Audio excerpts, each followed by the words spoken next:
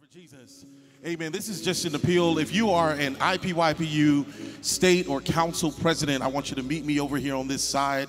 If you are here representing your council for the PYPU services, looking for all state presidents and state president representatives to meet me here on this side in Jesus' name. Come on, let us stand as we go before the throne of grace. Amen. Some of us are still in his presence. Amen. But we're waiting for the glory cloud to set in. Amen. Hallelujah. Hallelujah. Hallelujah. Hallelujah. Hallelujah. Grab the hand that is next to you and let us go before the Lord in prayer. Heavenly Father God, in the name of Jesus, God, we come to say that you are good and your mercy endureth forever, oh God.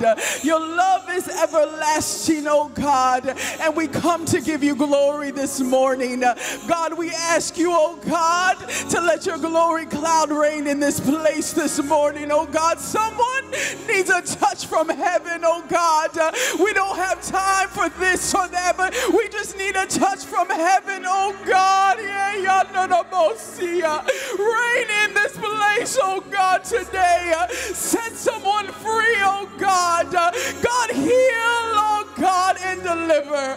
God, set us free from all the bondage, all the riffraff, all the distractions, oh God. We will not go home the same. God, let your word today, let it fall on good ground, oh God. Someone needs a word today, oh God. Someone needs to be broke free. Someone needs to be reminded that they got what it takes. Oh Oh, God, we're calling for greater. God, we're calling for greater today, oh God. God, we pull on your anointing, oh God. Let the fire let the hand that I'm holding today, let it ricochet, oh God. Let it ricochet in this place, oh God, that we may have revival today. We're calling souls today to baptism. We're calling souls today to the Holy Ghost. We're calling souls today to come back home uh, in the name of Jesus. Uh, I believe someone's going to get a call that their son and daughter uh, is coming back home. I believe someone's getting ready for a miracle. Someone's getting ready for a miracle. Someone's getting ready for a miracle. And we believe it. We believe it today because you are God. You are God. You are God. You are God. And so we believe it is so uh, in Jesus' name. Uh, in Jesus' name. Uh, in Jesus' name.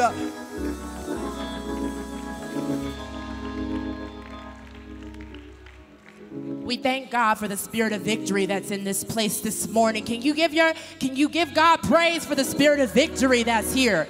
Hallelujah. Our scripture reading is going to come from Psalms 34, and it is a psalm of victory. And it reads, I will bless the Lord at all times, and his praises shall continually be in my mouth.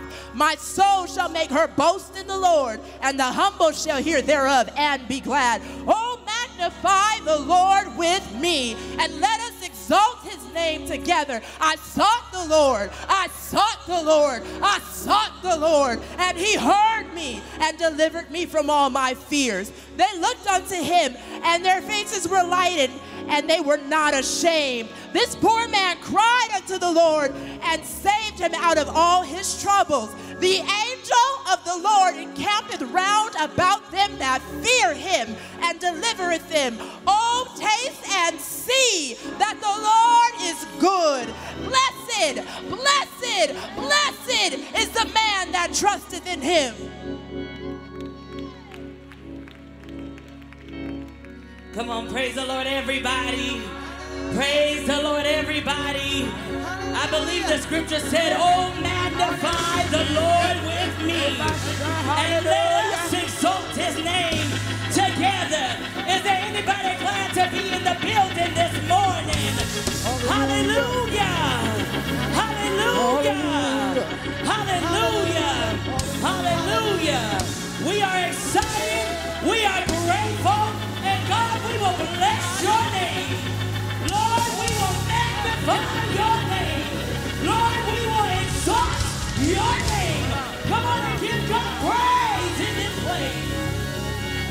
Hallelujah, hallelujah, hallelujah.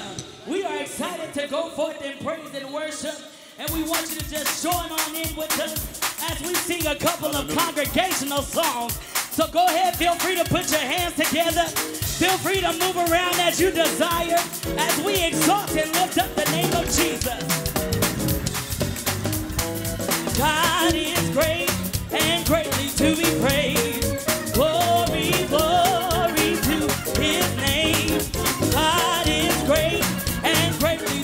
praise.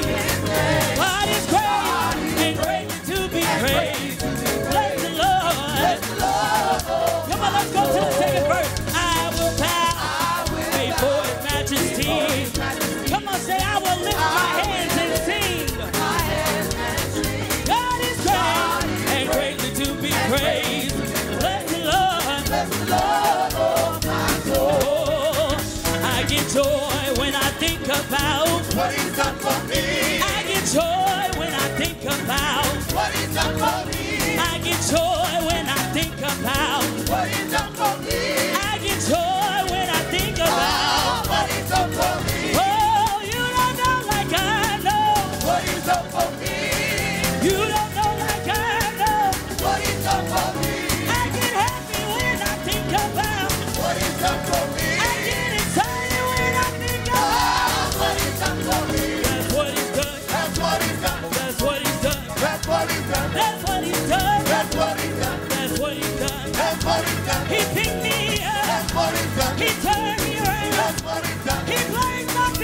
what it does. My solid ground. That's what it does. I've got to believe. That's what it does. I've got to pray. That's what it does. I've got to honor. That's what it does. That's what he does. That's what it does. He's been my joy. That's what it does. He's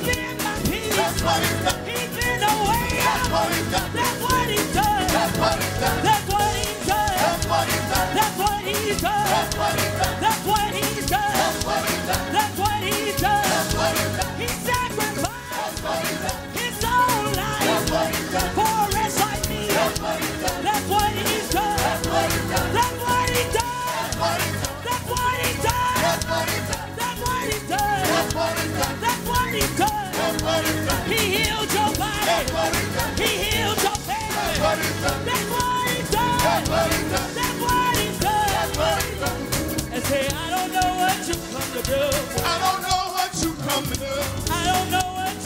I don't know what you come to do. I didn't come to look at you. I didn't come to look, at, you. I don't know what you come to do. I don't know what you come to do. I come to clap my hands. My hands. I come to clap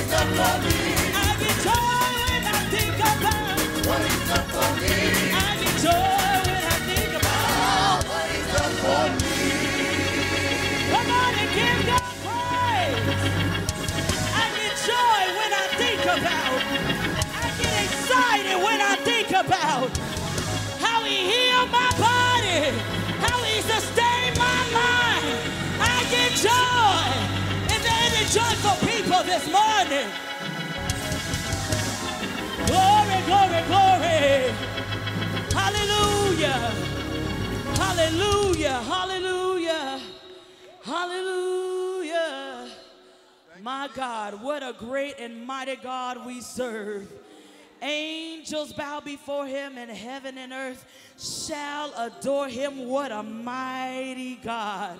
Hallelujah. How many know that we serve a mighty God? Mighty to save, mighty to heal, mighty to deliver. He is mighty. Hallelujah. And how awesome is it to be loved by such a great God? Hallelujah. Is there anybody that can attest to God's love? Hallelujah. He loves us. He loves us so much that he sacrificed his own life. He loved us so much that he decided to take on the beating all night. He loves us so much. Hallelujah. And I want you to begin to lift your hands and begin to sing your song of adoration to your God because it is all about him. Hallelujah. And we appreciate him. Hallelujah. Come on, just worship him. Thank you, Lord. Just worship him. Just worship him. Yes, Lord. Yes, Lord. Our hearts cry. Yes, God. Be magnified in this your holy temple, in this your holy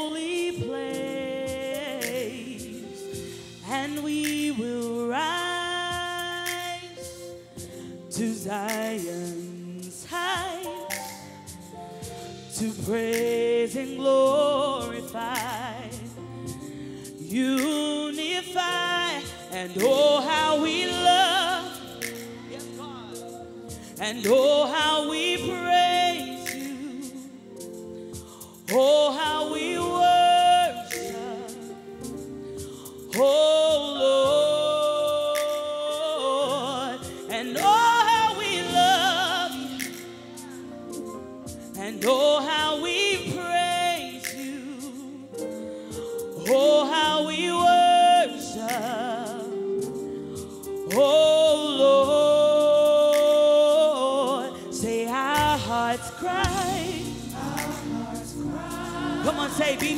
magnified. Be magnified. In this your holy temple.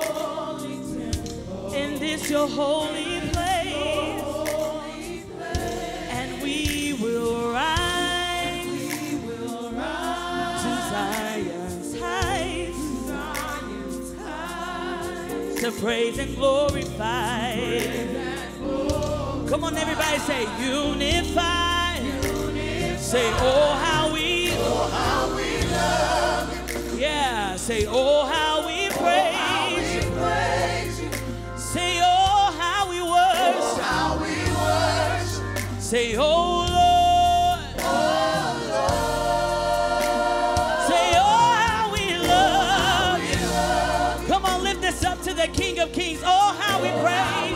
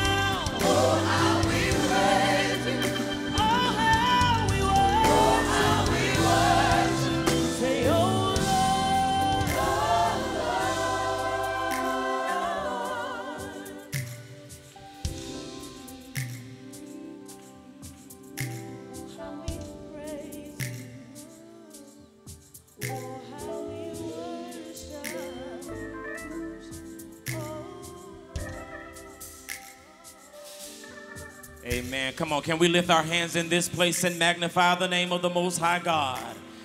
Oh, how we worship Him. Why don't you worship Him?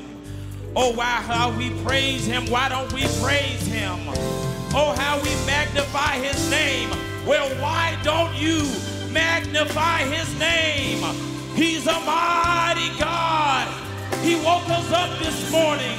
He started us on our way. If it had side, where would we be today if it had not been for God who was on our side? Oh, we worship you. We magnify you. We exalt your holy name. Amen. Can we please bless God for the praise team? Can we bless God for the praise team? Amen. Well, praise the Lord, Pentecostal assemblies of the world. Did anybody wake up this morning to have a good time? For I was glad when they said unto me, Let us go into the house of the Lord. I remember in the scripture where the Pharisees and the Sadducees and the high priests Hallelujah. They went to the master and they say, Master, please tell your servants, your disciples, to shut up. Please tell them to close their mouths. And the master replied and said, Even if they shut their mouths, even if they don't say anything, even the rocks are still going to cry out. Well, I came all the way from North Carolina to say, I don't need no rocks to cry out for me. Praise him for myself.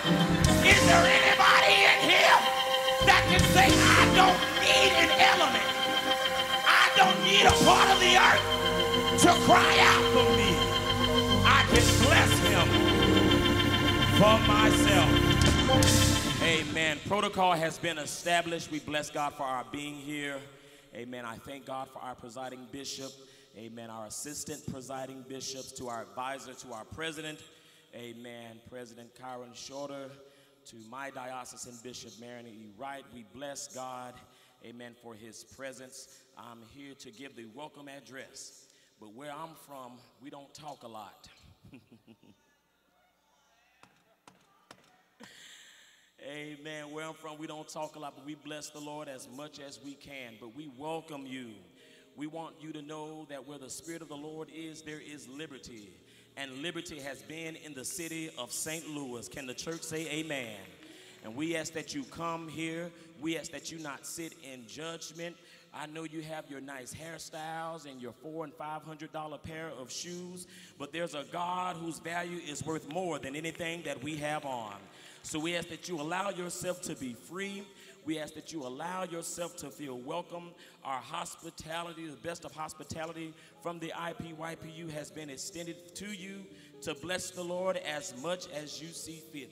So, again, on behalf of President Shorter and his administration, we welcome you to the IPYPU morning worship. God bless you all.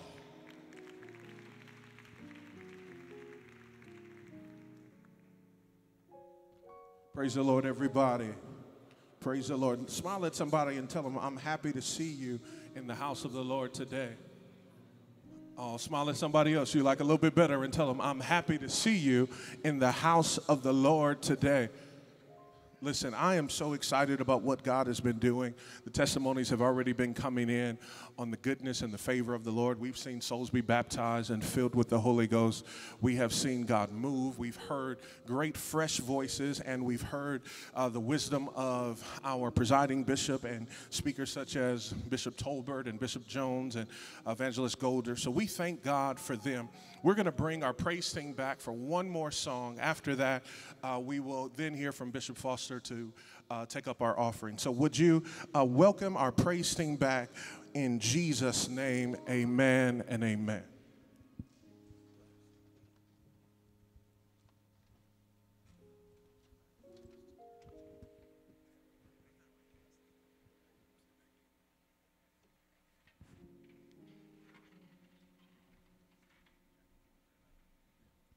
Praise the Lord, everybody. Praise the Lord, everybody. Praise the Lord, IPYPU. Oh, come on, saints of the living God. Praise the Lord, everybody. That's an invitation. Praise the Lord, everybody. Touch your neighbor and say, I don't know about you, but I'm blessed. Come on, you're looking at me. I said, look at your neighbor. I said, tell your neighbor, hey, hey, I don't know about you, but I'm blessed. Can you stand up on your feet? Can we sing this song together? Come on, come on, come on, come on,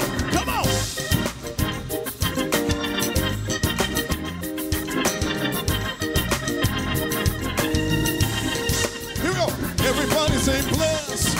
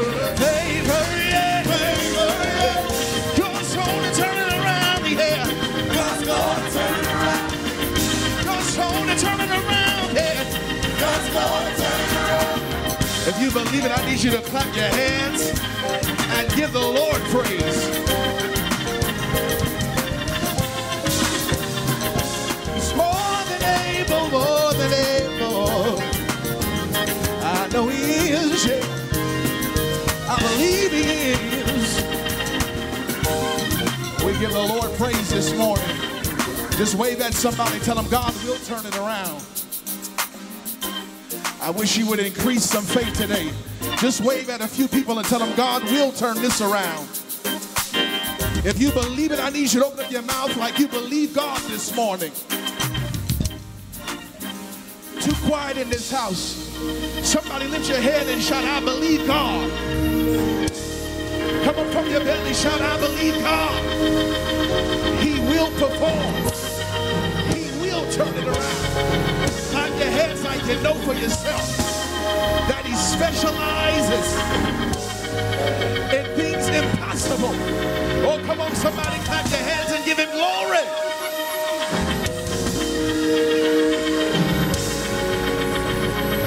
I don't know about you, but I need a few people to agree with me that before I get on the plane tomorrow, it shall be well.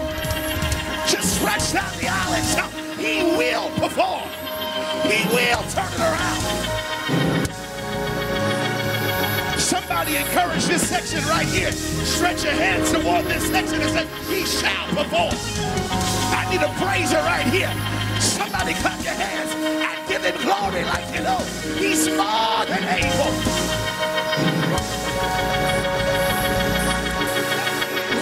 Yes, he is. Yes, he is.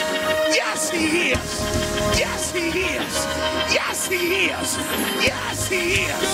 Yes, he is. I need a praiser right now. Lift that voice. Lift that hand. And declare God will turn it around. God will turn it around. Hallelujah. Yes, he will. Yes, he will. Clap your hands.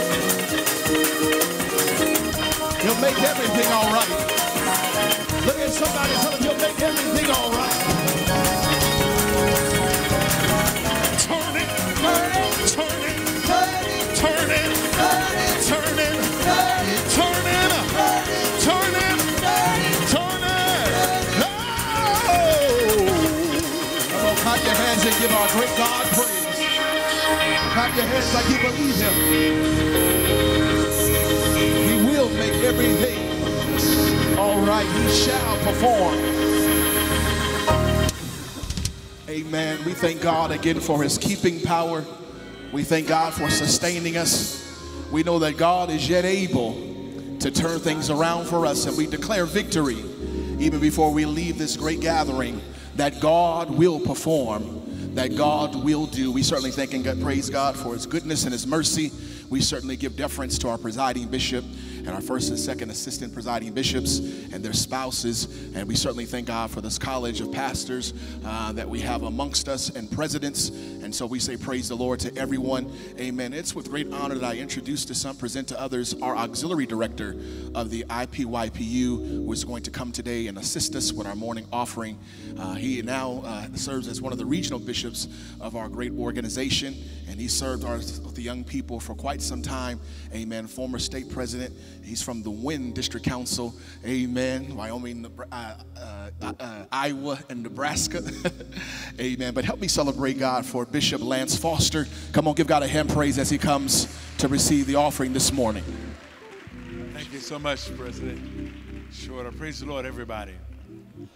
It is so good to be here this morning. I, I thank God for allowing me to wake up this morning with all of my faculties and being able to see and hear. God has been good to us, and I appreciate his goodness and his kindness. Probably didn't get into bed until 12:30 or 1 o'clock, but I wanted to be here this morning for morning prayer. I think it is so important for us to go before the Lord in prayer and ask the Lord. And I was praying this morning. The Holy Spirit impressed upon me that anything you need, I'll give it to you. Now, I'm not just dealing with money. A lot of times we're thinking that our need is money. But there are some things that money cannot do for us. There are some things that money cannot do to us because millionaires and billionaires that have bought airplanes and they fly around, money can't keep that from crashing. It is the power of God that keeps us in the air. So he was letting me know that anything you need, I'll give it to you. Anything. Somebody say anything. The Lord says in Jeremiah 29 and 11, I know the thoughts that I think towards you, saith the Lord, thoughts of peace and not of evil to give you an expected end. Somebody say expectation. Expectation is not wishing, it is something that you are expecting to happen. And the Lord says also in the book of Philippians that He will provide all of our needs according to His riches and glory. And I look up that word glory, sometimes we're thinking that that word glory in that verse means heaven. But when I begin to do some study on that word glory, one of the words that in that word glory from the Greek, it means expectation. I will provide all of your needs according to my riches of the expectation that I have for you. Whatever assignment that I've given you, I'm going to give you whatever you need. How many of you all have ever uh, ever had to do something but you were afraid? Fear was trying to grip you. Has anybody ever been there where fear is trying to stop you and you feeling less than somebody else is trying to stop you? Well, I want you to know the Holy Ghost is telling you whatever you need, I'm going to give it to you. I'll take away fear from you. Somebody raise your hand and say, Lord, take away fear from me. And whatever I need, I'm, I'm not just talking about money, I'm, I'm talking about whatever you need, the Holy Ghost will build you up. It may take some time, but He's going to work on you. I love this auxiliary because this is where a lot of things started for me. I used to be the assistant treasurer in our council, and then the treasurer, and then the vice president of our council. And then one time, I woke up to a phone call, and the president said, I'm relocating. Mm. So now you're going to have to be the president of our council in the IPYPU. At that time, you all, I wasn't even a minister. You know why I wasn't a minister? Because at nine years old, I knew that I was going to be a pastor. And I wanted to preach so bad that I wouldn't preach. You know why? Because I thought it was me calling me. I wanted to preach so bad. It took somebody that told me, Lance, if you don't start preaching, you're going to go to hell. How many don't want to go to hell? Look at somebody and say, I don't want to go to hell. But look at somebody and point at them and say, But if God's giving you an assignment, you have to do it.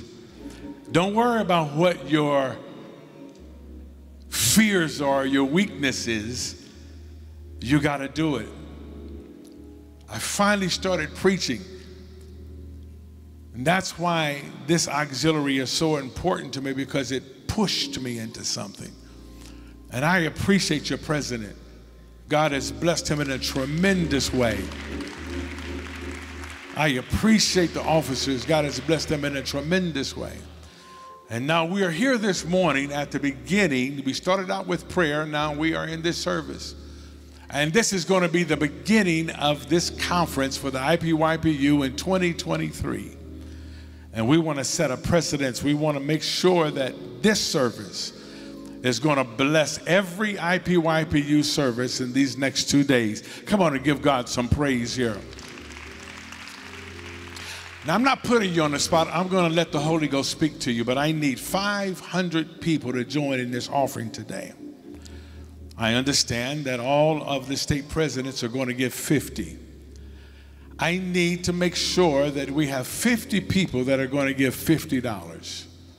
I'm not going to have you to stand right now. I'm going to have you stand later.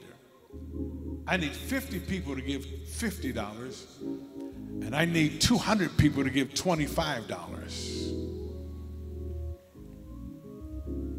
And I need 250 people to give $10. We want to reach $10,000 today. Look at somebody and say, I think we can do it. Now that was quiet there.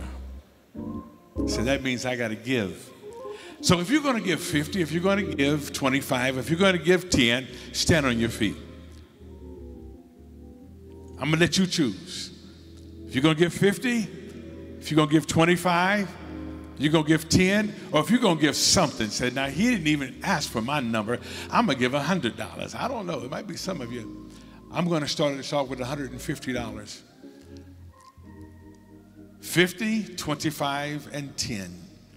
But if you're going to give five, that's fine. If you're going to give 100, that's fine. Everyone, we need everyone that is going to give something to stand on your feet. And we're going to let the Holy Ghost speak to you for what you're going to give today. We're going to bless this department. We're going to bless this auxiliary. We want Pastor Shorter to be able to leave this place and say, Thank you, Jesus. We want every state president to be able to leave this place and say, Look at what we've done by the help of the Lord. Now, come on and give God a praise that you're able to give. Give God a praise that God has blessed you in a tremendous way. Give God a praise that you yet have a job. Give God a praise that you can take a deep breath this morning. Give God a praise that you can move your hands. Give God a praise that you can move your feet. Give God a praise that you can look and see and distinguish colors in your eyes. God is good to us and we thank Him. We also have the uh, ability to give in several ways. Is that right? You're going to put that up on the screen you will be able to give in several ways. We appreciate what you've done. We appreciate how the Lord has blessed you. Now, turn to somebody, give them a hug, and say, Thank you for supporting this auxiliary this morning. Give somebody a hug. Thank you. Thank you for what you're doing. Thank you for how you're blessing. We appreciate you and we appreciate your liberality in the name of the Lord Jesus. Is there a giving video that you're going to show right now? All right. You want to you want them to give where our youth face countless challenges, there's a place that offers hope, guidance, and a brighter future. The International Pentecostal Young People's Union's mission is to inspire and empower youth and young adults through training development, community service, resources, global fellowship, and networking. We believe in the power of nurturing young minds, fostering their talents, and empowering them to become tomorrow's leaders. But we can't do it alone. We need your support to continue making a difference in the lives of these incredible young individuals. By giving today, your donation can help ensure that this 90 year legacy continues in its tradition of innovation and relevance. Your contribution to the IPYPU will help shape the future, equipping young minds with the tools they need to overcome obstacles and reach their full potential as leaders both now and in the future. Join us in making a difference. Give by choosing one of the following methods on the screen. Together, let's ensure this legacy continues. Come on, give God a praise. Give God a praise again. Give God a praise for how the Lord is blessing us with the media. God is good to us, and I thank Him for His great kindness. All right? Let us pray. Father, in Jesus' name, we thank you. Thank you for your kindness, and we thank you for your power. We thank you for your love. We thank you, Lord, for allowing us to be able to say, Thank you, Jesus for the things that you've done for us and for the things that you are doing for us and how you're blessing us and how you're helping us and how you're giving us strength. Thank you, Lord, for allowing us to be able to give today. We thank you, Lord, for allowing us to have the substance to give. Honor the Lord with thy substance. Thank you, Lord, for allowing us to honor you. In the name of the Lord Jesus, we pray. And we say, Lord, thank you. In Jesus' name, let us all say amen, amen, and amen. All right.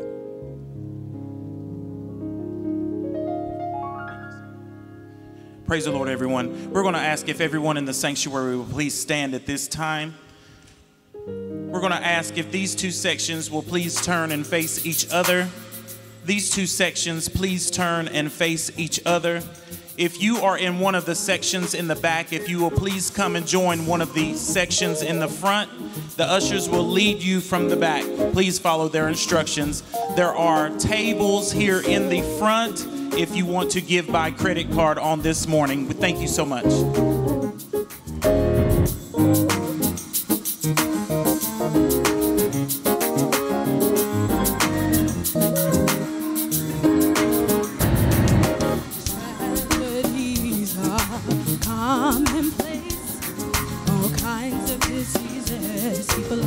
Slipping away. The economy's down, people can't get enough pay.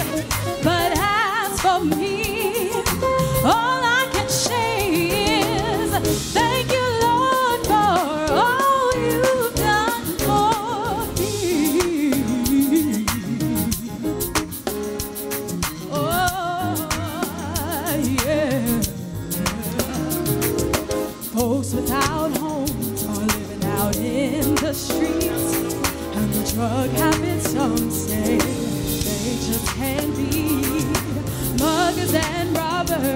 no place seems to be safe, but you've been my protection every step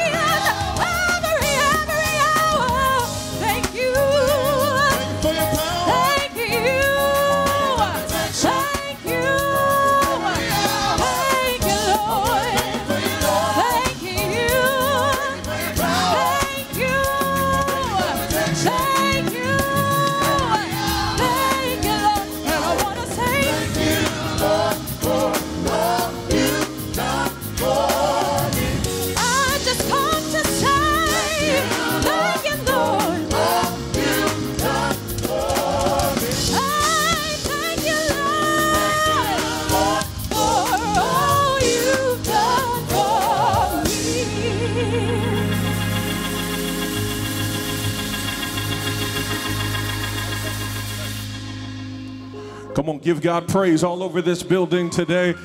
Listen, I'm so excited to introduce to you our next musical guest, the Airettes from Kansas City, Missouri. They tore the place down last year and we had to bring them back. So, can you stand on your feet and give a great IPYPU welcome to none other than the Airettes from Kansas City, Missouri, in Jesus' name?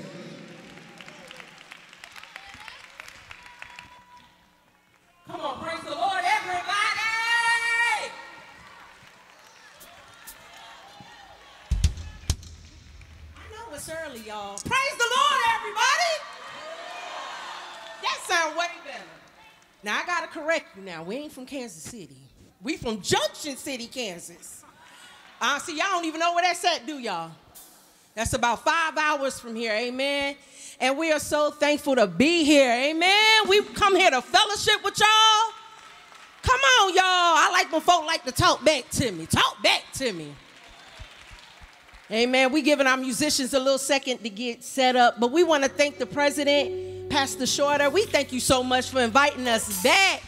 We are thankful for real. Now listen, we're a little quartet, y'all.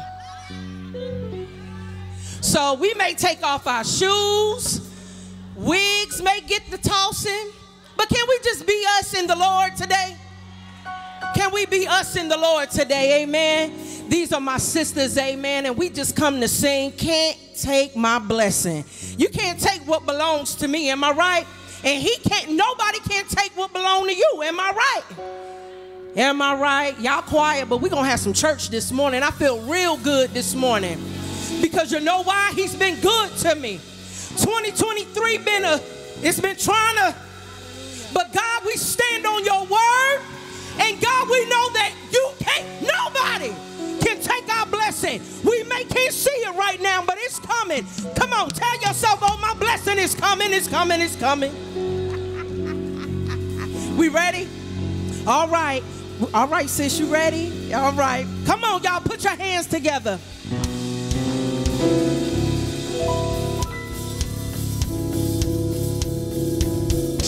Jesus gave it to me, and the world can't take it away. Cause it's mine, oh mine, mine, oh mine, oh mine. Hey, Jesus gave it to me, and the world can't take it away. Cause it's mine, oh mine, mine,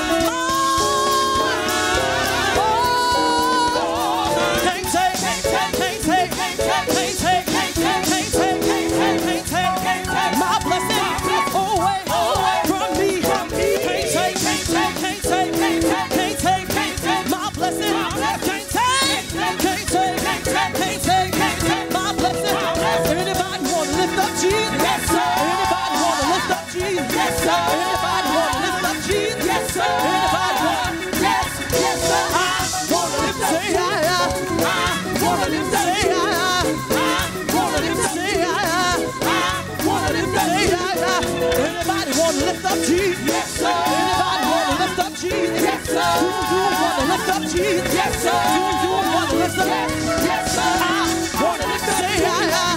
I want to lift up. Say I, I. I want to lift up. Say I, I. I want to lift up. Say yeah, yeah, Say praise Him, praise Him, praise Him, praise Him, praise Him, praise Him, praise Him, praise Him, praise Him, praise Him, praise Him, praise Him, praise Him, praise Him, praise Him.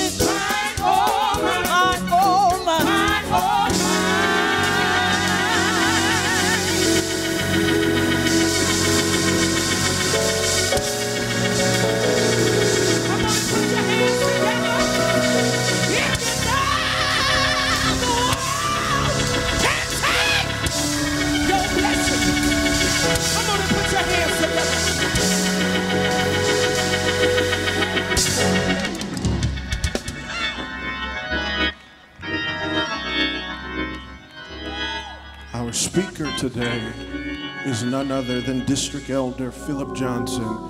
District Elder Johnson was saved at the young age of seven years old and was called to preach the gospel at 13. While under the pastorate of his father, Bishop Brader Johnson, Elder Johnson was trained from the age of 14 to the age of 32. He later succeeded his father and relaunched the church under the name Apostolic Life Church. Since then, the church has experienced rapid success. Under his pastorate, they were able to acquire a new church property for just one dollar. The new church sits on five acres, sits, seats 300 people, and offers state of the art ministry amenities. In 2019, Pastor Johnson was elevated to the office of district elder in the Northern District Council, overseeing district number two. Elder Johnson and his lovely wife of 17 years daughters, Amber Johnson, have two biological children and are the adopted parents of two additional children. Can you stand on your feet all over this building? And those of you who are watching online, and give a great PAWIPYPU welcome to none other than our speaker for the hour, District Elder Phillip Johnson, and greet him with a hearty preach the word. Amen. Come on, put those hands together for Jesus all over this house. Oh, I said, put your hands together for Jesus. Come on, he's worthy.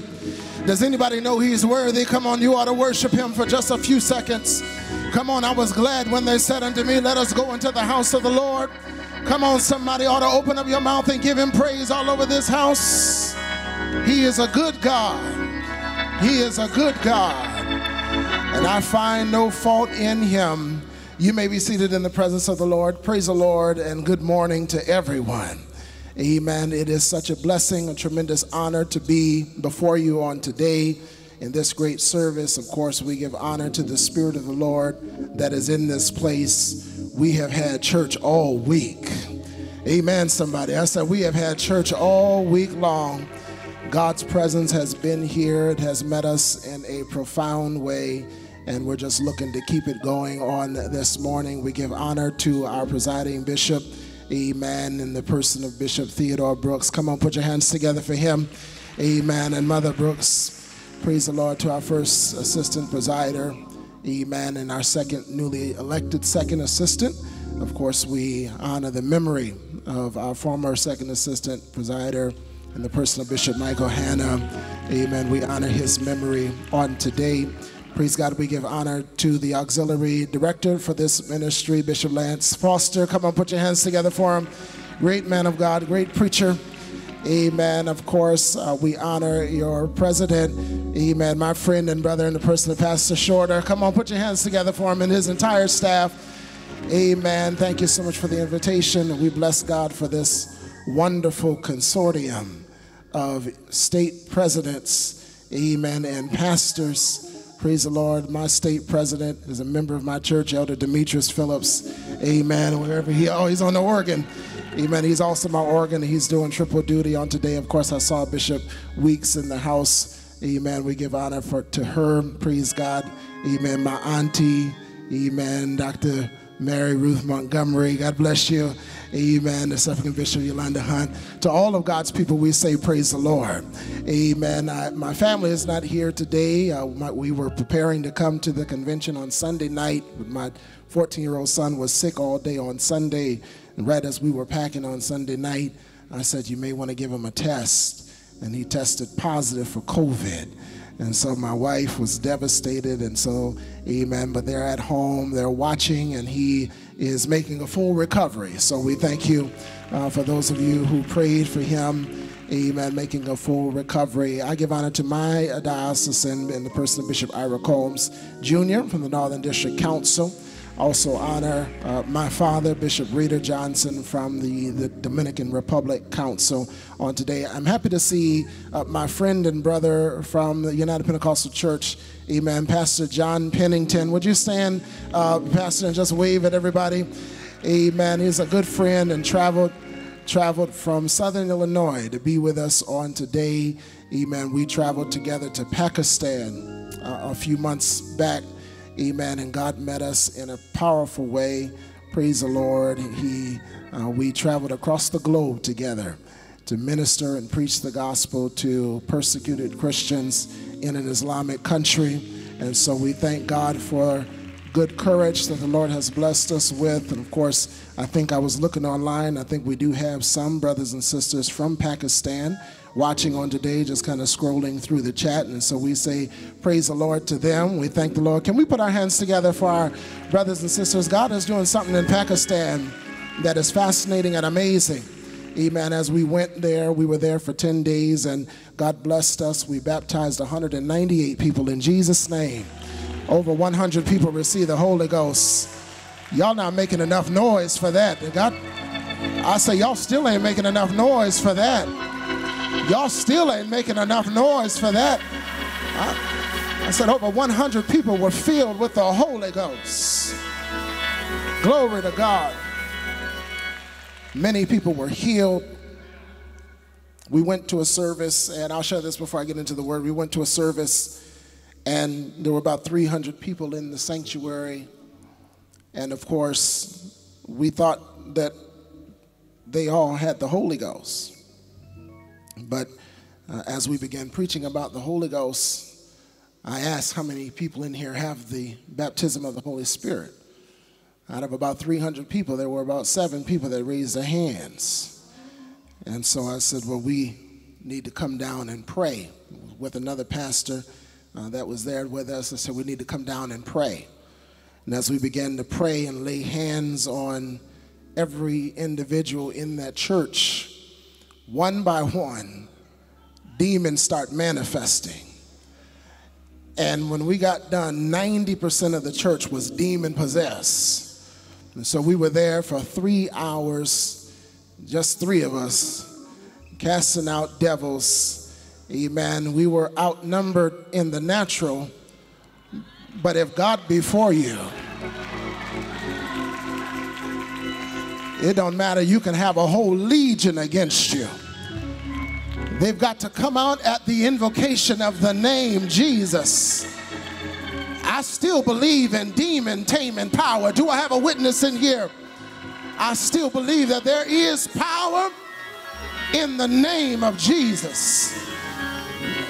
One by one, one by one, every devil had to get up out of that place as we took authority in the name of Jesus.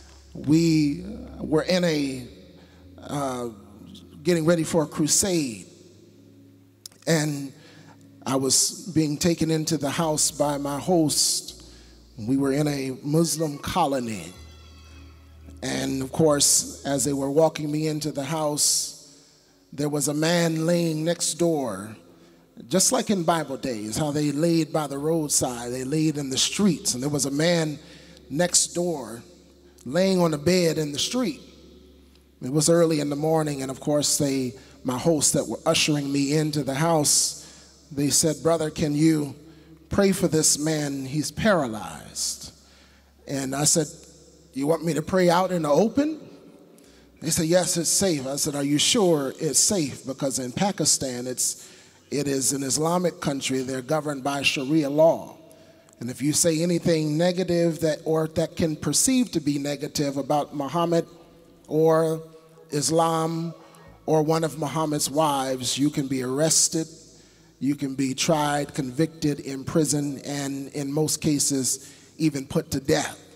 And so I was very hesitant to do anything out in the open. But I said, well, if he needs prayer and he's Muslim and he's asking for prayer, Bishop, we need to go pray for him.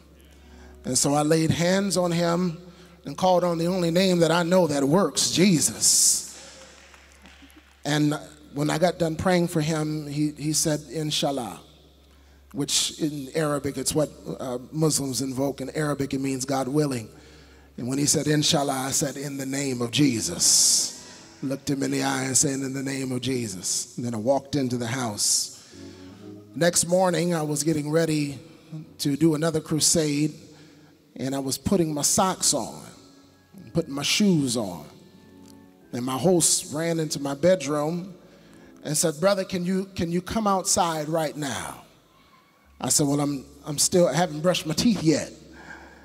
And he said, Brother, please, it's only going to take just a, a couple of minutes. Can you come outside right now? So I stepped out on the porch, and he pointed down the street and said, The man that you prayed for yesterday that was paralyzed, he's walking down the street right now. God has healed him fully. Oh, y'all not y'all not loud enough for that. Anybody still believe in the healing power? I said, is there anybody that still believes in the healing power? We ran up to him to catch his story, get it on video. And he explained to us that he wasn't paralyzed from birth, but he was paralyzed through an accident on the job five years ago. And something fell on both of his feet and crushed his ankles. And he hadn't walked in five years. He laid on that bed for five years. But he said, There was something happening in my feet this morning. I don't know what it was, but all of a sudden I took a step and I was able to hold myself up. And I took another step and I was able to hold myself up. And I took a step walking down the street. And by the time you got down here, God had fully healed me. I, I looked at my host and said, God knows how to stand you up on your feet. I said, God knows how to stand you up on your feet. I don't care how long you've been down. I don't care how hard you fell. I don't care who stepped on you while you were down. God knows how to stand you up on your feet. Look at your neighbor and tell him he's a healer. Oh, yes, he is. Oh, and I'm glad about it today. How about you? If you're glad about it, you ought to open your mouth and just give him 15 seconds of a crazy, radical, don't make no sense praise. Let everything that have breath. Brother Soundman, can I get a little more push? I like my hair to blow back. I said, let everything that have breath praise ye the Lord. He's a good God. And I find no fault in him. So to my brothers and sisters in Pakistan that are watching, we say, Bohat Shukriya, ko. That is, thank you very much. God bless you in Jesus' name. How many are ready for the word of the Lord on today? Amen. I'm going to ask if you would rise to your feet with your Bible and your custody all over this house and turn with me to two passages of Scripture. Please, please keep the Pakistan ministries in your prayers. Lord willing, we plan to go back in November. We're looking for God to do some amazing things. Two passages of scripture on today Isaiah chapter 53 and verses number 1 through 4, and then Hebrews chapter 4 and verses 14 through 16. I, am not going to be before you long on today. Uh, I, I have another meeting at 9:45, and so I'm going to try to make that meeting. So I'm not going to be before you long today. Isaiah chapter 53 and verses number 1 through 5. If we have it, can we signify by saying amen? I'm going to ask if you would join with me and lift up your voice and read it out loud because the scripture says, Thy word is nigh thee. Somebody knows the scripture like I do, even in thy mouth. The word of God makes an impression upon you when you read it out loud instead of just just rehearsing it in your mind. Amen. God bless you, Servant Bishop Thomas. Verse number one, what does it say? Who hath believed our report, and to whom is the arm of the Lord revealed? For he shall grow up before him as a tender plant, and as a root out of a dry ground. He hath no form nor comeliness, and when we shall see him, there is no beauty that we should desire him. He is despised and rejected of men, a man of sorrows and acquainted with grief. And we hid, as it were, our faces from him. He was despised, and we esteemed him not. Surely he hath borne our griefs and carried our sorrows. Yet we did esteem him stricken, smitten of God, and afflicted. But he was wounded for our transgressions, he was bruised for our iniquities. The chastisement of our peace was upon him, and with his stripes, somebody shout glory. As we turn to Hebrews chapter 4, I want you to keep verse 4 of Isaiah 53 in the back of your mind. Surely he hath borne our griefs and carried our sorrows. Hebrews chapter 4.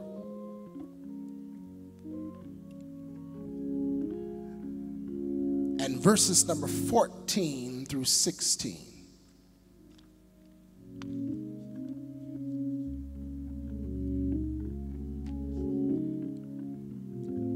Seeing then that we have a great high priest that has passed into the heavens, Jesus, the Son of God, let us hold fast our profession.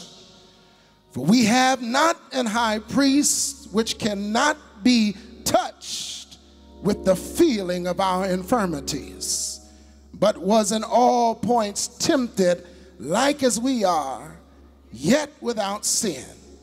Let us therefore come boldly unto the throne of grace, that we may obtain mercy and find grace to help in time of need. And all the people said, Amen. Remain standing. We're going to pray. I want to lift from the 15th verse of the fourth chapter of the book of Hebrews. We have not an high priest which cannot be touched with the feeling of our infirmities. For subject briefly this morning, I would like to preach about the gospel of empathy. The gospel of empathy. I don't normally take a subtopic, but if if I did today, if I have time, I will tell you about the things he took to Calvary. Amen. Because he took our sins, but there were some other things that he carried with him also. Amen. Let's pray. Father, in the name of Jesus, we thank you, God, for your spirit being in this place right now. Not only in this house, God, but it is radiating through the screen of every cell phone, every iPad, every smart device, every smart television into the living rooms and the homes of those that are watching online, even right now. We pray and ask, God, that you would speak to us today. We came to this service, Lord, for a word from you. We came, God, not just wanting a word, but we came in need of a word. We've got situations in our lives, God, and we need a word. We've got trouble on every side, God, and we need a word. We've got a weight on our shoulders, God, and we need a word. We've got a battle in the spirit, and we need a word today. Speak to us, Jesus. Let your word become flesh. Let it become real and relevant and tangible to us that it might change us from the inside out. Break every yoke and break every fetter. Give us an ear to hear what the Spirit is saying unto the church. And let your name be glorified. Higher heights and deeper depths, God. And closer walk, we pray. Heal them that are sick today. Comfort them that are comfortless and give courage to them that are despondent. Make my tongue as the pen of the ready writer and touch your people with liberty, with power, and with strength. And we will thank you and we will praise you. We will clap our hands and claim the victory today.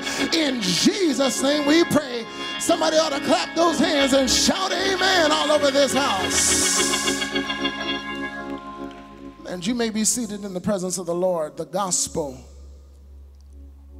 of empathy. I just love the book of Hebrews. It's one of my favorite books, if not my most favorite book of the Bible, because of the, it provides for us the missing link, if you will, between the Old Testament and the New Testament. I should say at the outset of this brief talk that I'm glad to be apostolic.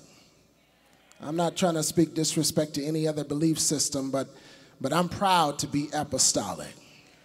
I'm proud, and I'm proud of the fact that, that, that we have some revelation concerning who God is in the person of Jesus Christ. I'm proud to know that we know that He is not the second person in the Trinity, but He's the only one in the Godhead. As a matter of fact, the fullness of the Godhead dwelled in that body. All of God was in that body. I, am glad to know. I'm glad to know that we are part of an organization that is still apostolic. I don't know if you heard Bishop Bishop's message on last night, even in keeping with our theme, and they continued steadfastly in the apostles' doctrine. And I want every apostolic believer and every young person, every young preacher, uh, room to, to know today that it matters what we believe in these times. Even in this age of deception and false doctrine that is rampant, and, and everybody on Facebook is a prophet, and everybody on Instagram is, is, a, is an apostle. Do, am I talking to the right church today? Everybody can put a collar bar on and, and cloak themselves in a prayer shawl and put on weird mystical music and have incense smoke fly, flying up in the atmosphere and then want to tell you what thus saith the Lord. I'm glad to know the truth today. How about you? it, it is important. What we believe matters. What we believe about God matters. What we know about who God is, that matters what we believe about how salvation is realized and achieved in the life of the individual, that matters. Uh, You know, we're in the time where the devil is trying to blur the lines, and he's he's been trying to do that since since the very beginning, trying to blur the lines between what is God and what is not God, what is right and what is wrong. He is trying to create gray areas. But I want every young preacher, young apostolic preacher, young PAW preacher to understand that it matters what you believe in these times. Do I have a witness in here? I'm glad to be apostolic. I'm glad I'm glad I've been water baptized in the name of Jesus Christ. I'm glad that I received the baptism of the Holy Ghost with the evidence of speaking in other tongues. I found out when the Holy Ghost came that it was more than just a good feeling. It was more than just goosebumps and, and hair standing back on the back of my neck, but it was the power of God that came in and entered my soul. And, and when God showed up, I began to speak in other tongues as the Spirit of God gave me the words to say. Anybody proud of the fact that you know who Jesus is and you've got the baptism of the Holy Ghost? I'm glad to know, I'm glad to know that God requires a life from us. I'm glad to know that God requires a, a standard of living amen, we call it holiness. And, and I don't believe in a 20th century holiness and a 21st century holiness. I believe that holiness was and always will be the standard that God has set for the separation that should be existed between his people and those that are not his people. I believe that your character ought to change when God saves you. Do I have a witness in here? I believe, I believe that we ought to strive to be all that God is. I'm proud to be apostolic and I'm glad to know revelation and truth. I'm very proud today to have come from a great apostolic lineage. I'm glad to have been exposed to the teachings of the apostolic fathers, of the fathers of our great organization.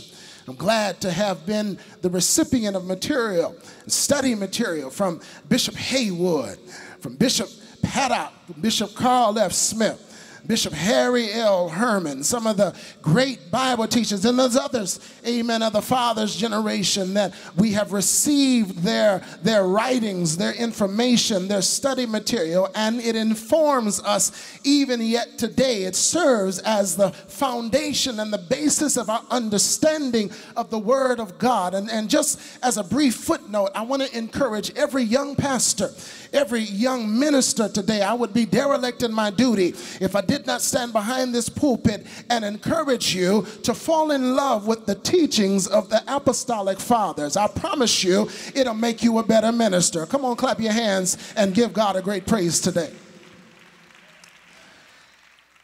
The book of Hebrews is one of my favorite books because it explains to us what is contained in the Old Testament. The Old Testament is full of types, shadows, patterns, figures, fashions, examples, and prophecies. The Old Testament shows us how God worked, and the Old Testament shows us God's method. It shows us God's process of, of how he separates his people from everybody else.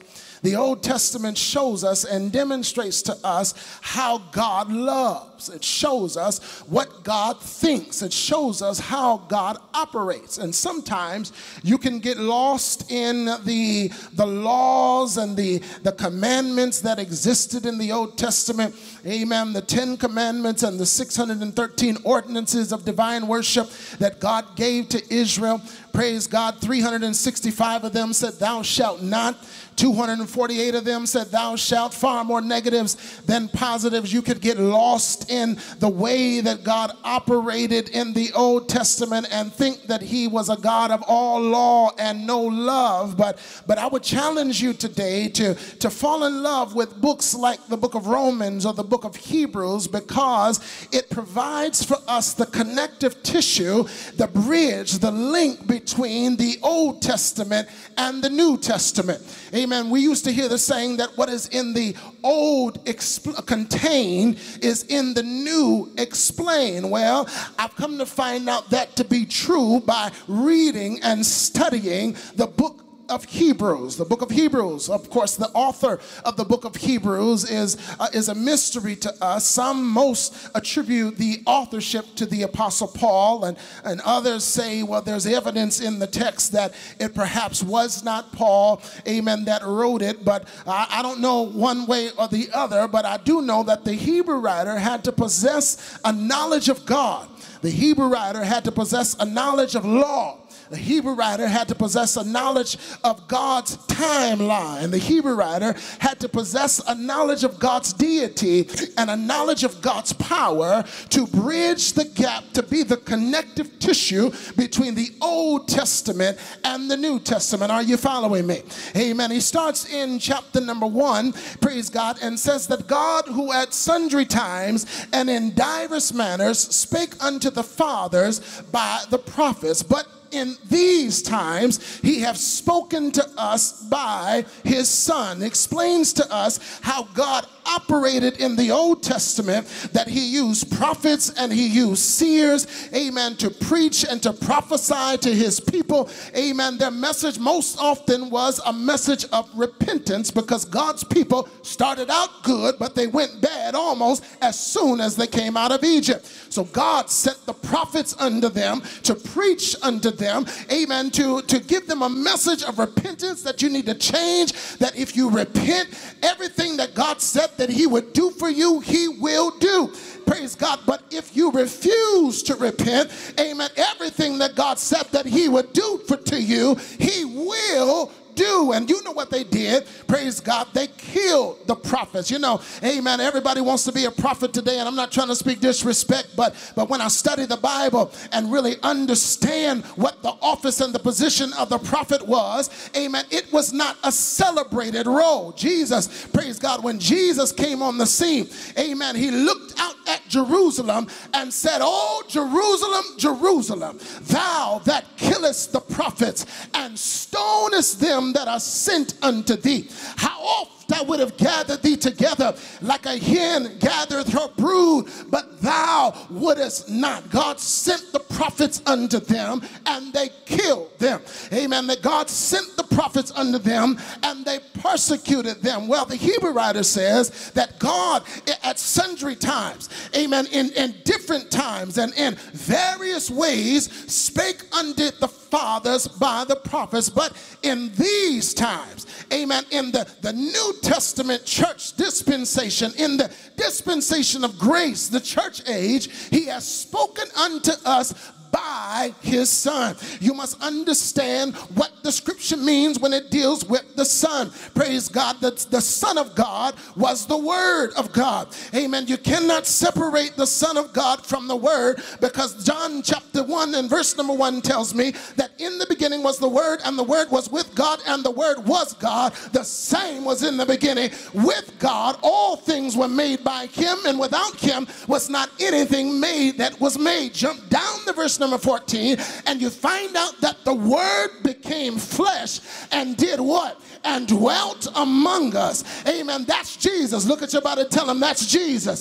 So, so you cannot separate, praise God, the word from the son. So when a verse, verse number two and verse number one says that he has spoken unto us by his son, that lets us know that he has spoken unto us by his word. Now you must understand where we get the word from. Praise God. Know we are in a digital age, Bishop Foster. Amen. And everybody can pull up the cell phone and turn on YouTube and Facebook and Instagram and get a word. But I came to tell you, praise God, that's not how God gives it. You've got to be connected to his system in order to get what he's got from you. There is no word to be had outside of his church. Do I have a witness in this church today? I, I came, I came, amen, to, to, to come against every spirit of spiritualism today, every spirit of mysticism today that says that I can get a word from myself. I don't need no pastor. I don't need no church. The devil is a lie. If you're going to get what God has for you, you got to be connected to how he gives it. Do I have a witness up in here? You ought to clap your hands and shout hallelujah these last times spoken unto us. I'm a Bible preacher, pardon me today. I, amen. Y'all are shout tonight. I, I'm just here to preach the Bible. Amen. Uh, these times spoken to us by his word. Then, then, he, then, he, then he transitions. This is what I love about the Hebrew writer. He, he transitions now, amen, to God. Amen. He, he transitions to God. Remember, remember, he's got a foot in the Old Testament, amen, and he's got a foot in the New Testament. He he transitions now to God. In verse number three, he says, Who is the brightness of his glory, the express image of his person. Now you must understand what the Hebrew writer is saying to us. He, amen, he knows that that God is a spirit, and, and, a spirit does not have substance. A spirit does not have body. A spirit does not have blood. A spirit, amen, you can't see a spirit. You can't catch a spirit. You can't feel a spirit. So, so he, he says that, that, that Jesus is the express image of God. What that simply means is that Jesus, amen, is the very image of God. Amen. Let me drop this on you. You remember in, in the book of Genesis, Genesis when, when God, Genesis 1 and verse 26, God said, Let us make man in our image after our likeness. Then the scripture says, In the image of God created he him, male and female, created he them. Amen. God made man after the image. Amen. But I want you to understand that the image of God was not something that God just imagined that I'm going to make man to like this, but the image of God was a specific image. It was himself in the person of Jesus Christ. You must understand in the book of Revelation, praise God, it, it calls Jesus the beginning of the creation of God. He is the beginning. Shout, somebody shout the beginning. He is the beginning of the creation of God. And the, what is the creation? Well, there's a difference between create and make. To, to create is to cause to exist in the mind. To make is to fashion, to form and produce. Amen. So when the scripture says that Jesus is the beginning of the creation of God, that simply means that before there was a when or where, a then or a there, before there was an earth, before there was man, before there was cattle, the first thing that God thought about was himself. Amen. The first thing that God did, if I can use my sanctified mind, amen, standing, praise God, in, in the midst of nothingness, the first thing he did uh, was he proposed to himself a form. Amen. He, he did not have a form. He proposed to himself a form and called that form his image. It existed in his mind. And he said, This image, this image is, is, is going to have uh, uh, two protrusions out of each side. Amen. A left arm and a right arm. And, and at, at the, the extremity of the left arm is going to be a hand. And I, I'm going to put five fingers on that hand because this is my image. I, I want my image to be functional. Amen. On the right, I put, amen, an, another extremity. I'll call it a hand on that side.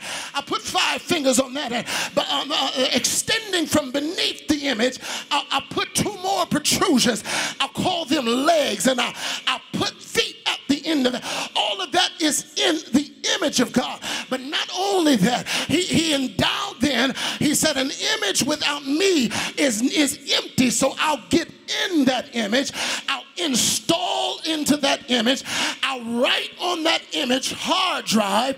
I'll put wisdom, knowledge, might, intelligence, reason, mental faculties, I'll put all of that in the image. Now you must understand, he is doing this in his mind. Amen. The image did not materialize yet in reality. It would not materialize for another 4,000 years when Jesus would come on the scene. But the image existed in the mind of God. So then God says, Let us make man after my image. Amen. Now, how, Jesus, how, God, can you make man, can you make man fashion, produce, mold after an image that only exists in your mind? I came to tell you what Isaiah said that he calleth those things that be not as though they were. So when God made man in his image, he made him to look like and be like Jesus because that was the image of God. Did you catch that? Amen. If you caught it, you ought to clap your hand and shout hallelujah. Shout hallelujah another time. Amen. So God made man in his image and he installed in Adam. Amen. With you know, Adam had to have a wisdom. Amen. In order to name all of the animals. You know what God told Adam? Amen. I'm giving you dominion. Take the earth, subdue it. You got control. God then passed all of the animals before Adam. Amen. And said, Now, because I've given you dominion, you name them. And whatever you name them, that's going to be the name of it. Amen. It had to take a wisdom, praise God, for, for Adam to, to look at a dog and say, hmm, that's a dog. It had to take a wisdom for Adam to look at a cow and say, hmm, that's a cow. Amen. And whatever he named it back then, that's the name of it now. Amen. But I come to tell you, amen, that even though man was made upright, uh, praise God, he lost his position in God. You know how he lost it, brothers and sisters. Amen. You know what he did. Amen. You know what happened. God gave him the woman, praise God, because he said it's not good for man to be alone, so I'll give him a help me. He can't fulfill my command to replenish the earth, to multiply, so I'll give him a help me. Made the woman, you know what happened? Amen. He gave her the commandment that all of the trees in the garden we can freely eat, but the tree in the middle of the garden, we can't even touch it. Don't even go near it. She knew what to do and she knew what not to do. Amen. The scripture tells us that the serpent, pray, praise God, beguiled her. The serpent tricked her. Amen. How did the serpent trick her? He said, God knows that if you eat that fruit, amen, you are going to be like God. In other words, amen, God knows if you eat that fruit, you're going to be like him. And because the desire was to be like him, because they did not know anything other than being like him, amen, she partook of the fruit because she was tricked into believing that if I eat this fruit, I'll be like God. Amen. The devil will twist your desire, even your desire to walk with God. The devil knows how to twist your desire to get you confused and caught up. You know what the Bible says she ate. I got to slow down here. You know the Bible says she ate uh, and she gave to her husband, and he, not being tricked, he knew exactly what he was doing, Elder Shaw. He made a conscious decision to be with his wife. And of course, the Bible lets us know, amen, that his sin, his disobedience, praise God, opened the door to for sin to enter into the nature of man. Can I preach the Bible here for about 10 more minutes? Amen. Do me a favor, lift your hands and shout hallelujah. Shout hallelujah another time. Now, now, now we're in a situation now, praise God, where sin has now entered the nature of man. That the scripture lets us know in the book of Romans that by one man's disobedience sin entered into the world, and death by sin. So then death have passed unto all men because that all men have sinned. When Adam sinned in the Garden of Eden, it opened the door and allowed sin now to enter into the nature of man. Sin did not enter into our bloodstream, sin entered into our nature. This is why the Apostle Paul says in the book of Ephesians that we were by nature the children of wrath, even as others. Amen. We were not born sinners. Amen. This is an important distinction, Elder Holman. We were not born sinners, we were born in sin. Amen. David said, Behold, I was shapen in iniquity and in sin. Did my mother conceived me. We were not born sinners, we were born in sin. But we became sinners when we began sinning. And how soon did we begin sinning? Well, the book of Isaiah tells us that the wicked are estranged from the womb. They go astray as soon as they be born, speaking lie. As soon as we were born, the fallen nature began to exert itself, and as soon as we were born, we needed a savior. Amen. You ought to clap your hand and shout hallelujah. Shout hallelujah another time.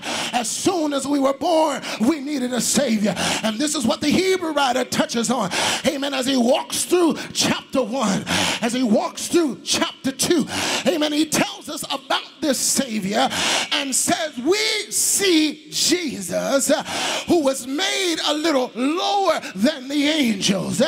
Amen. Crowned with glory and honor that he, by the grace of God, should taste death for every man. Now, you must understand, brothers and sisters, that the condition of sin was bad, but it was not untenable. The, the condition of sin was so dark and so wicked and so the opposite of God that God's requirement to atone for sin from the very beginning was blood. God has always required blood as the atonement, as the covering for the sin of humanity. Amen. But in the case of all of humanity, praise God, not just anybody's blood would do.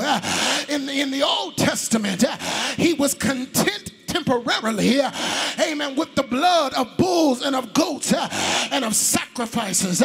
It was not a permanent solution, it was a temporary solution to hold back God's anger, amen, until the time of reformation. Amen. Everybody shout reformation. I'm not talking about the reformation in 1517, uh, but when you talk about the reformation that's noted in the book of Hebrews, chapter number 9, uh, amen, that reformation is, doesn't have nothing to do with Martin Luther. That reformation doesn't have nothing to do with the Catholic Church, but that reformation is the coming of the Messiah. So, in other words, the blood of bulls and of goats and sacrifices uh, temporarily appease the heart of God uh, until the ultimate sacrifice, uh, until the lamb that was slain before the foundation of the world would materialize and give his life. Amen. Anybody glad about the lamb? Amen. You ought to clap your hands and shout hallelujah. I'm getting ready to close here. Amen. So we see now uh, in chapter number four, uh, amen, the Hebrew writer says, uh, praise God, that we, that we now have received a great high priest. Amen. You must understand the role of the high priest. He was the in-between uh, between God and man. Amen. The, high priest was the one who would get to God on behalf of the people. And you know the service that the high priest rendered. The high priest one day a year, amen, twice on that one day, would slay the sacrifice at the altar of sacrifice. Amen. Slit the throat of the sacrifice, blame the drain the blood into a basin, then take that blood into the second room of the tabernacle. Amen. The first room was the sanctuary.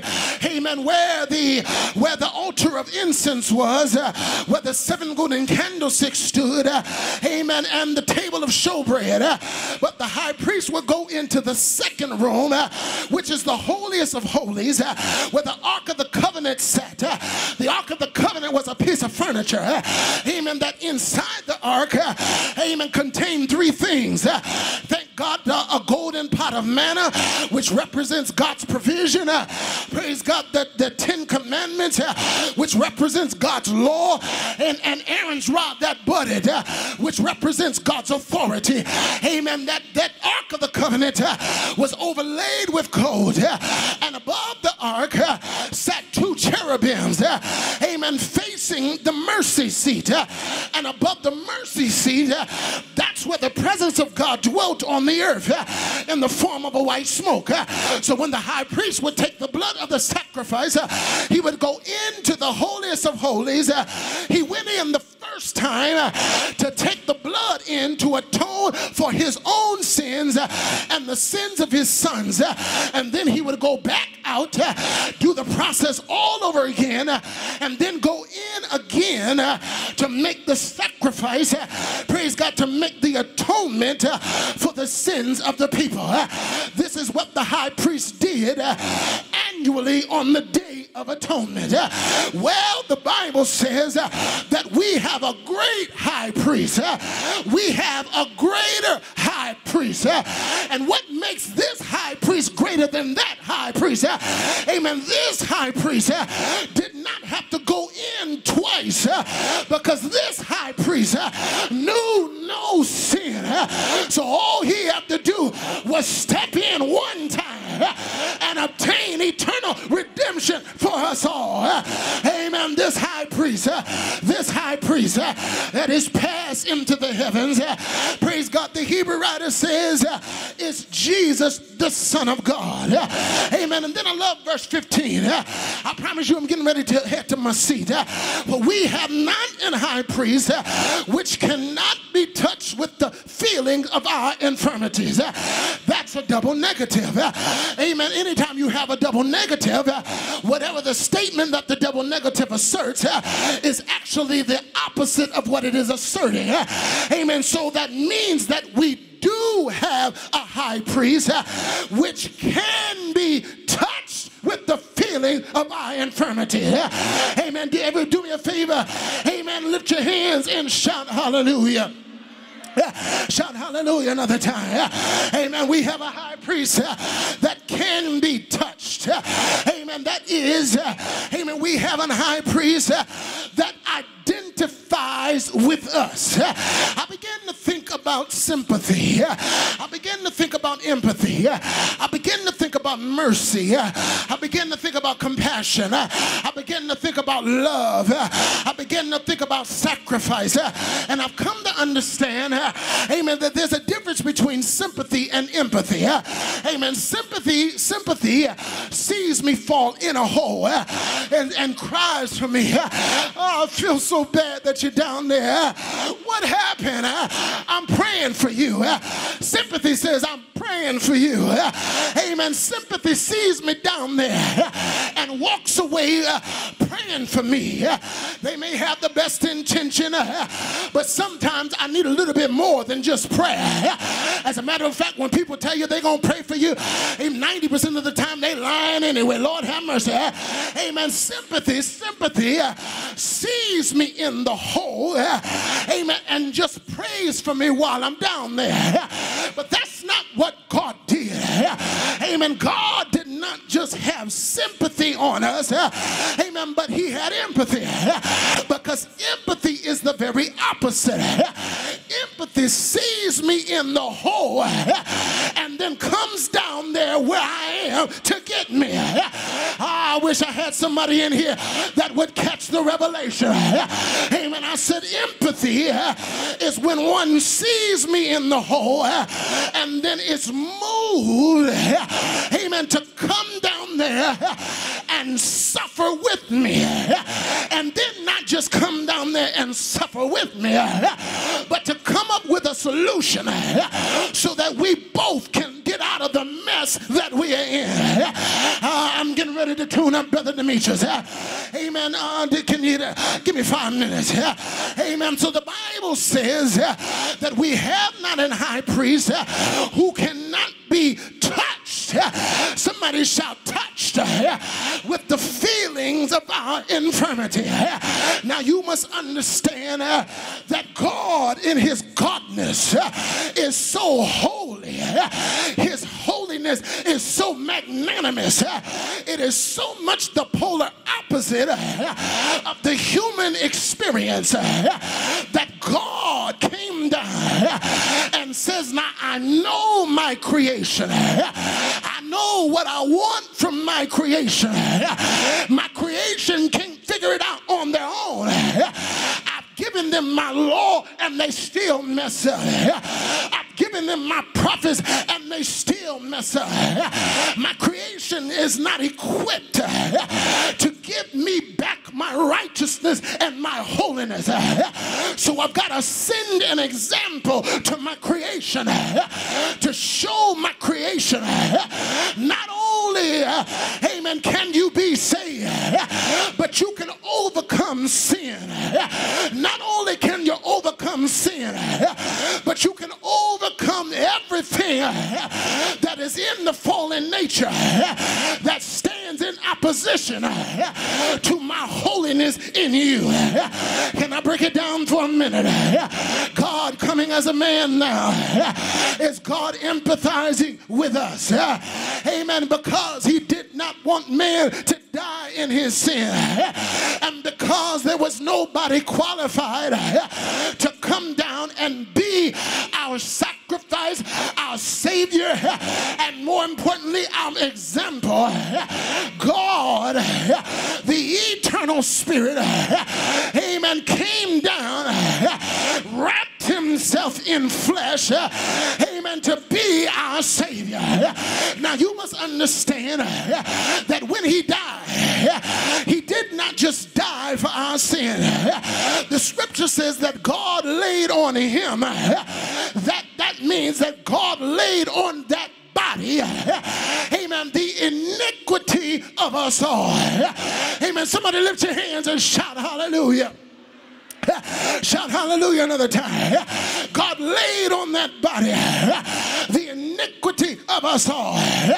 Amen. He punished his body for the depth of sin. He punished his body for every lie that would be told. He punished his body for every fornication that would be executed. He punished his body for every evil thought. He punished that body for the dirt that you would do behind closed doors. He punished that body for what you would look at on the internet last night. He punished that body for every cuss word that came out your mouth. He died for your sin. Is there anybody in here that's glad that he died for your sin? As a matter of fact, let me pause for station identification.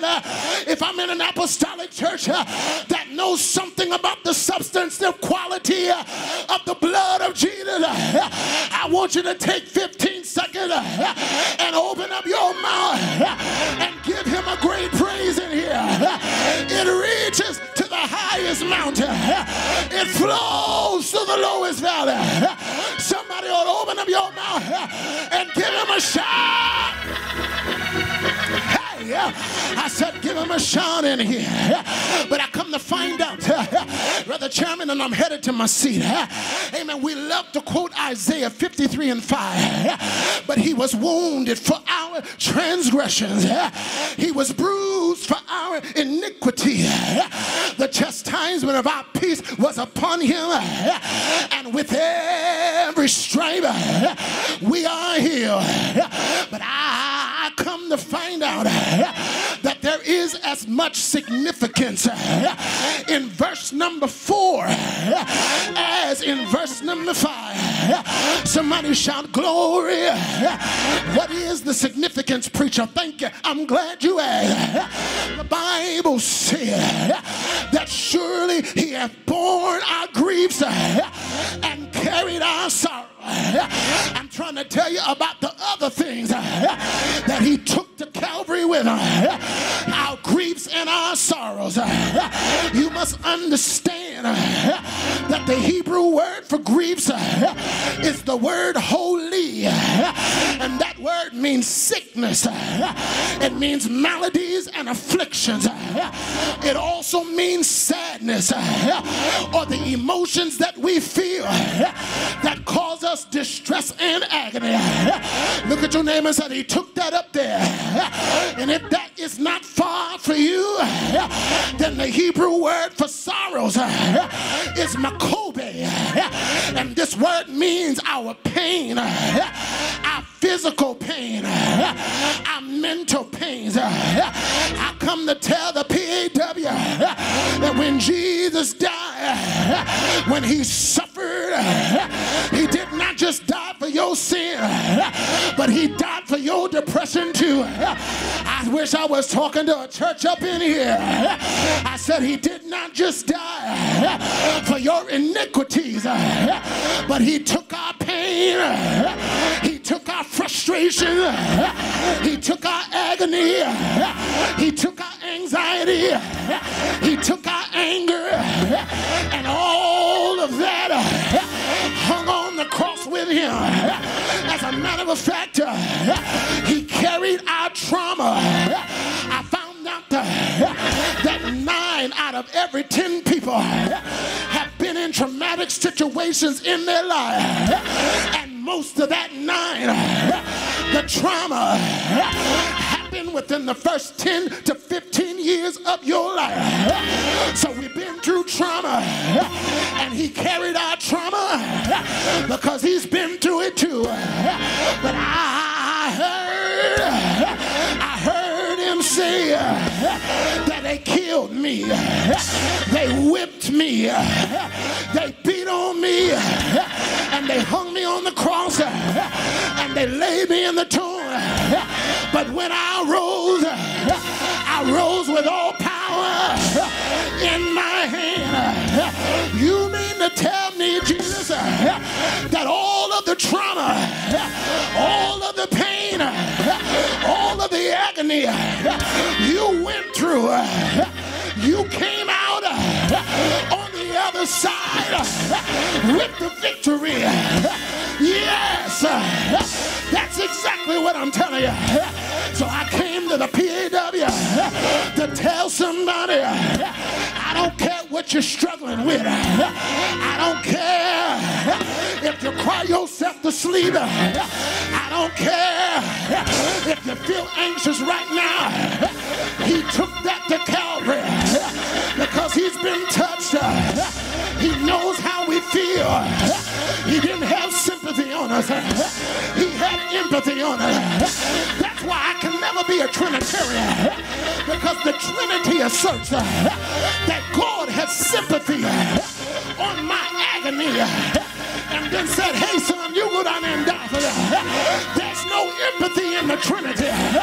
But when you got to talking about the oneness, saw my situation and said, I'm coming down myself to see about you. I'm going to get in the hole with you and I'm going to pull you out. Do me a favor. Grab your neighbor by the hand and just pull on them a little and tell them I'm coming out. I'm coming out today. If he's got the victory, then I can have it too. If he was they talk about me, I can get the victory too. If he was rejected and I struggle with a feeling of rejection, he touched and I can be victorious too. If he was wounded by so-called friends, then I can get the victory too. If he was betrayed by those who were supposed to love him,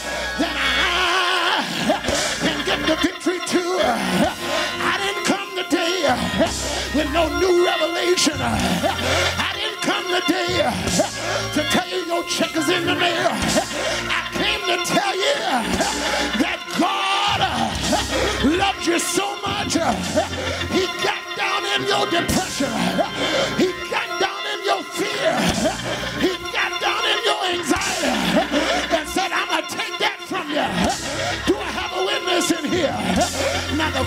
question is, and I'm getting ready to close in 30 seconds. The question is, because he took it, why am I hanging on to it? Because he carried it, why am I trying to pick it up? I came to the convention to lay some stuff down. I came to the convention to drop off some stuff. St. Louis uh, is going to be a little bit heavier because I'm leaving my anxiety. I'm leaving my fear. I'm leaving my anger. I'm leaving my depression. I'm leaving it all here. And I'm getting ready to walk uh, in my victory. I'm getting ready. Look at your neighbor and say, neighbor, I'm coming out because he pulled me out. I'm getting ready. I have not had the courage thus far, but now because he went to Calvary, I got a feeling is gonna be all right. So I'm leaving here with my freedom. Do me a favor, take a step. That was a powerful step. That was a step of victory. Do me a favor, take another step. That was another power step. That was a power of joy. I'm leaving anxiety and I'm stepping into peace. I'm leaving frustration and I'm stepping into happiness. I'm leaving pride and I'm stepping into humility. I'm leaving hatred and I'm stepping into love. I'm leaving depression and I'm stepping into peace. I'm coming out. If you're coming out, 20 and give him a radical praise. Don't make no sense. Somebody, anybody, everybody, open up your mouth and give him a shout.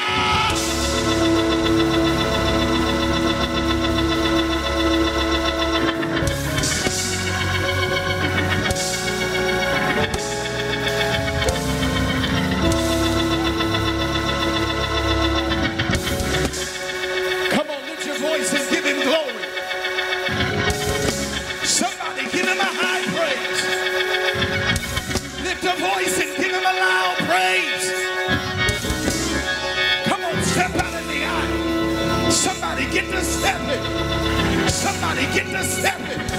Step out of that seat. Come on, young people. Let's walk into freedom.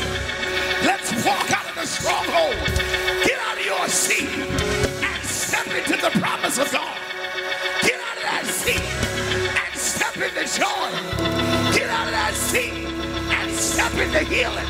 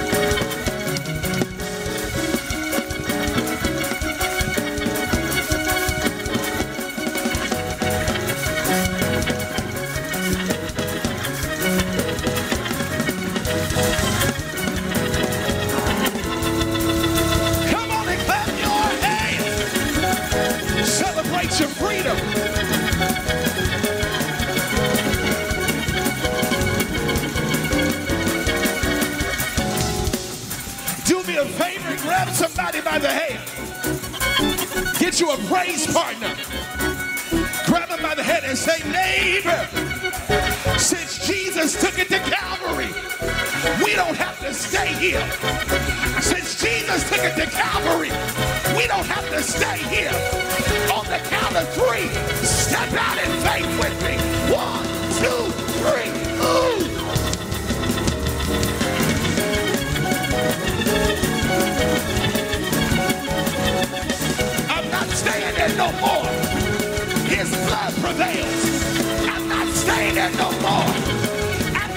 Victory in Jesus. I'm not staying there no more. His blood shall prevail.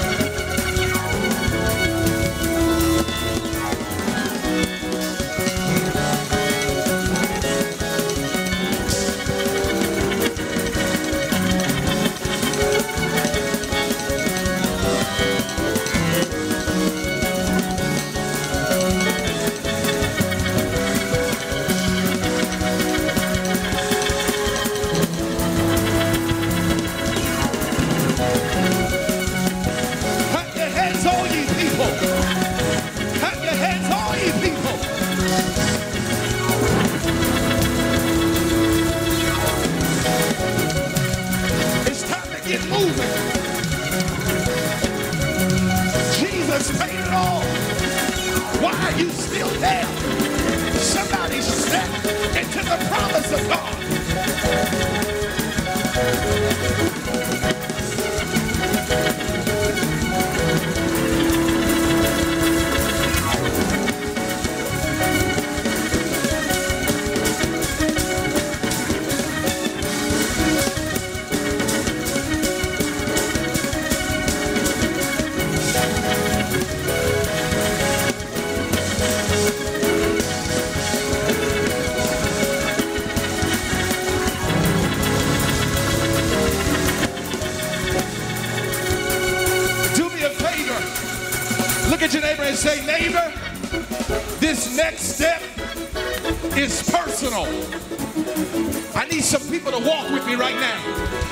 say, neighbor, this next step, it ain't even for me. Tell them this next step is for my children. This next step is for my grandchildren. Why are you still there? Now, get out of that seat. This next step is for my youth ministry. This next step is for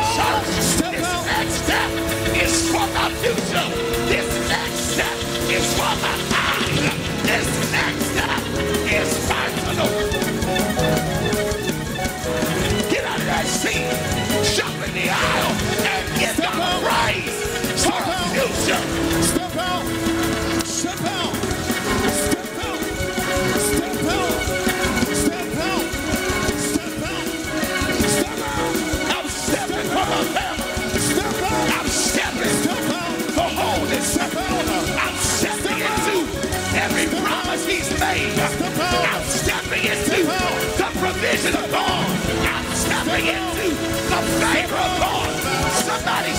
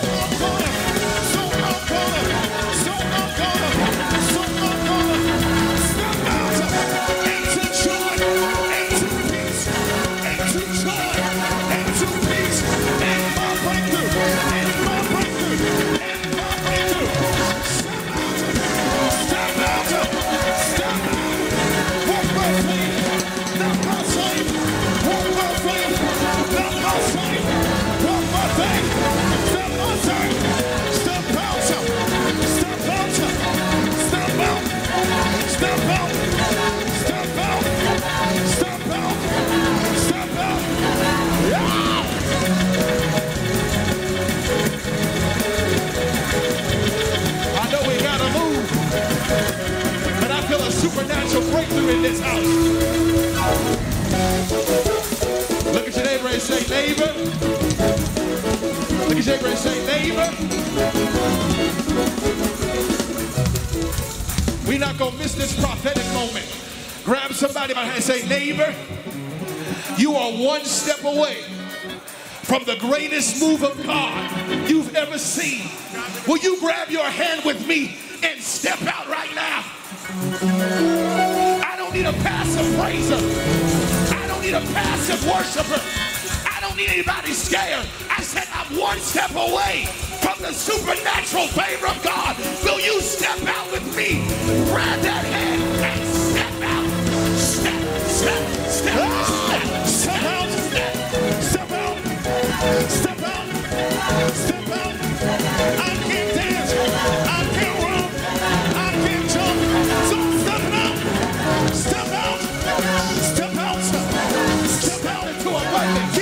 healing. Get your healing. Get your power. Get your blessing.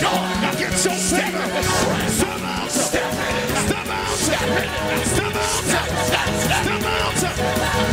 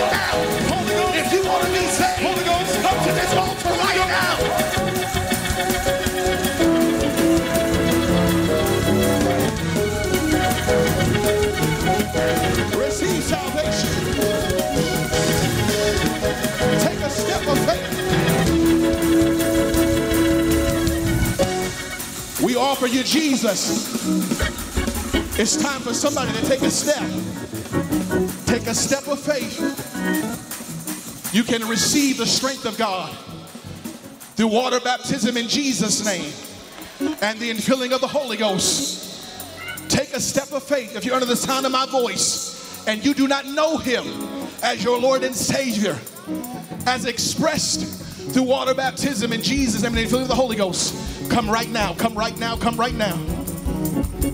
All He wants is to save you. All He wants is to take your things and apply the blood to it. Give him your heart today. I know we don't say it much, but if you desire to be reclaimed, you can be reclaimed at the convention. The altar is yours. This is a place of alteration. This is the place where we give God a heart of flesh. You can receive empowerment now. You can receive strength now. This is your moment. This is your opportunity. Receive Jesus. Come on, lift your hands. To God be the glory.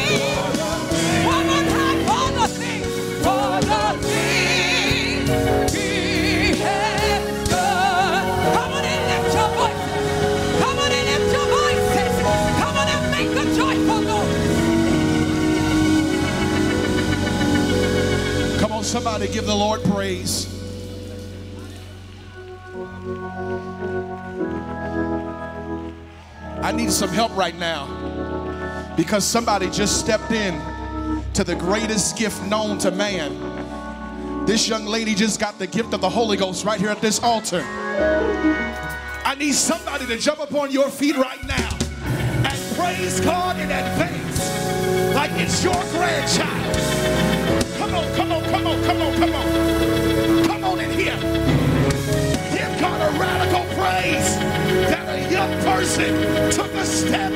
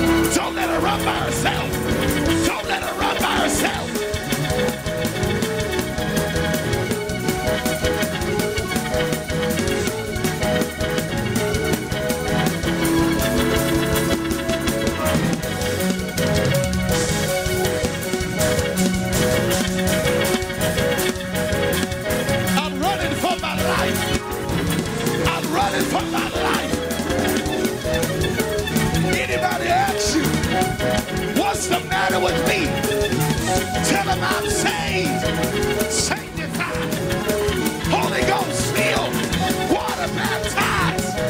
I got Jesus. I got Jesus.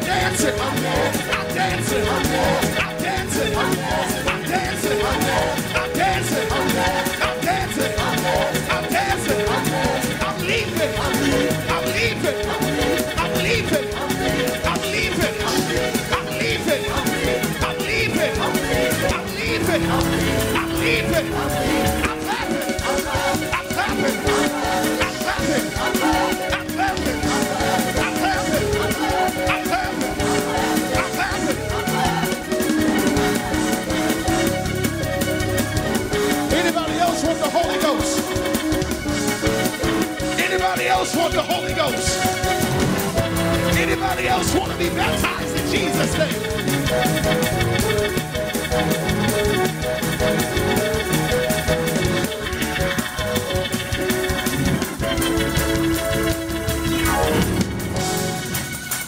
Just do me a favor. Look at somebody tell them, I'm excited about your next step. I don't like that neighbor. Find somebody that'll get happy for you. Find somebody new and say, neighbor, I'm excited about your next step. Thank you for joining us virtually for the National Summer Convention experience of the Pentecostal Assemblies of the World as we go higher in Jesus' name. For more information, please visit www.pawinc.org or any of our social media platforms. We look forward to seeing you. God bless you.